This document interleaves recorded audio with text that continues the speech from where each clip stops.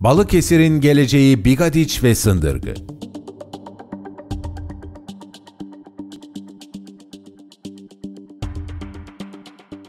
...2012 Aralık'tan bugüne Bigadiç'te nüfusun %153 arttığını, Sındırgı'da nüfusun %106 arttığını, konut fiyatlarının %15 arttığını, kiralık daire fiyatlarının %10 arttığını biliyor muydunuz?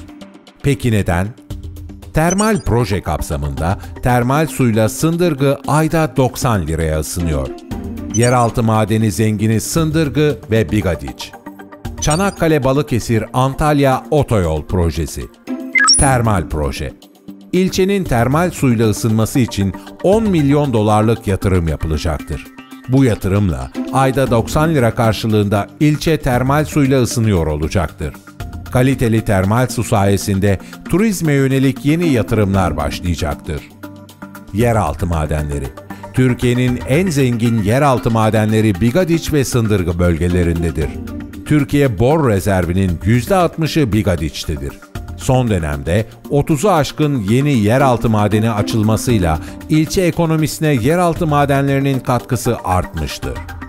Çanakkale Balıkesir Antalya Otoyolu Otoyol sebebiyle ilçe ekonomisi gelişimi tetiklenecektir.